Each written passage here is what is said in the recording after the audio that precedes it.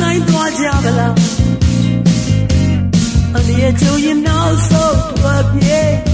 ဝမ်းမနေတတ်တော့ဘူးကိုယ်ရည်ဆိုင်ပေါ့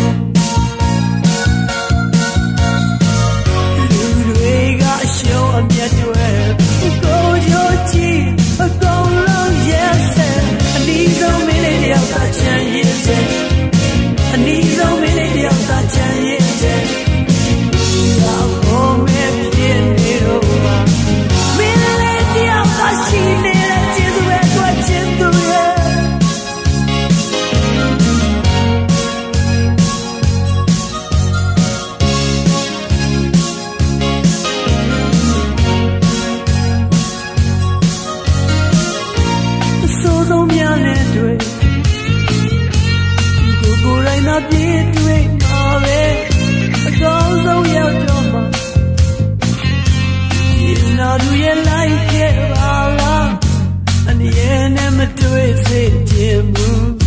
ဟိုမင်းစိတ်ဓာတ်ကိုချစ်တဲ့အနည်းဆုံးမင်းလေးတယောက်သာချမ်းရည်တဲ့အနည်းဆုံးမင်းလေးတယောက်သာချမ်းရည်တဲ့